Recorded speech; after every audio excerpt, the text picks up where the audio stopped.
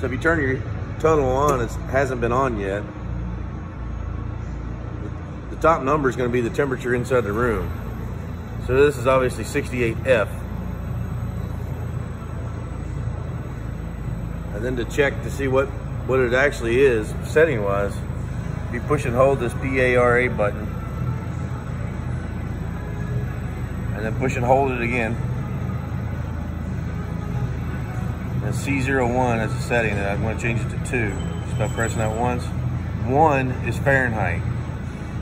I want to change that to Celsius, I'd put a 0 in there. And then I push mode to go back to the home screen. So now you can see it's 23 is the ambient temperature in here and it's going up.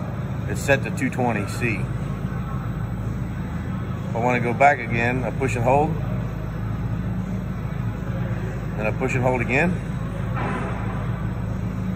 Then I push it one more time to get to C02. Zero is Celsius. One is Fahrenheit. Then push mode to go back to the home screen. It's 85 in the tunnel. Set to 220F now.